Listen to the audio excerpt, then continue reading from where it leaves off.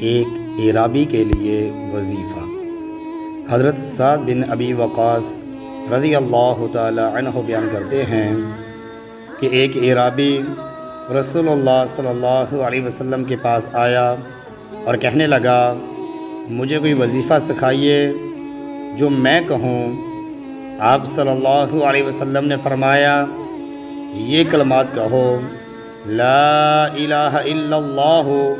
وحدہ لا شریک لہ اللہ اکبر کبیرا والحمد للہ کثیرا سبحان اللہ رب العالمین لا حول ولا قوة الا باللہ العلی العظیم اللہ کے سوا کوئی معبود نہیں، وہ اکیلا ہے، اس کا کوئی شریک نہیں۔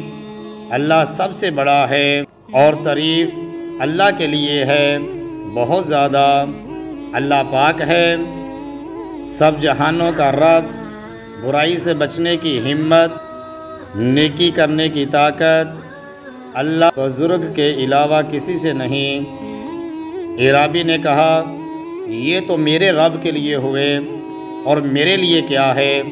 فرمایا، تم کہو، اللہم اغفر لی ورحمنی۔